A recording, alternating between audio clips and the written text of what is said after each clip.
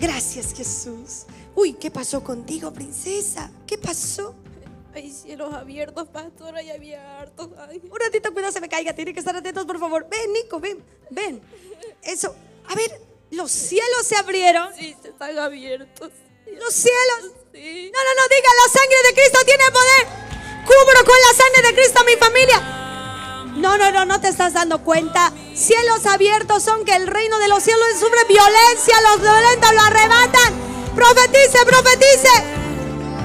Soy bendecido. Soy hijo de Dios. Yo y mi casa servimos al Señor. Cubro con la sangre de Cristo. Te cubro por la sangre de Cristo. Dile de tu lado, te cubro por la sangre de Cristo. Te cubro, cubro mi familia, cu- cubro mi matrimonio, cubro con la sangre de Cristo mi esposo, Pastor Daniel. Mira, mira, mira, algo está pasando ahí.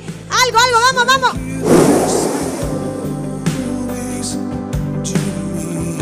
Con la sangre de Cristo a Luis Daniel. Cubro con la sangre de Cristo a Noelia. Cubro con la sangre de Cristo a Valentina.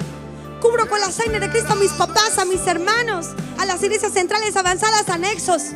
Cubro esta iglesia con la sangre de Cristo.